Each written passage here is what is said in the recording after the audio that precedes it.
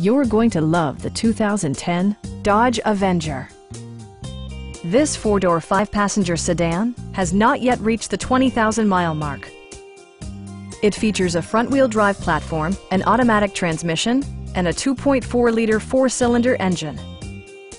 Dodge prioritized comfort and style by including leather upholstery, one-touch window functionality, an outside temperature display, heated seats, and a split folding rear seat.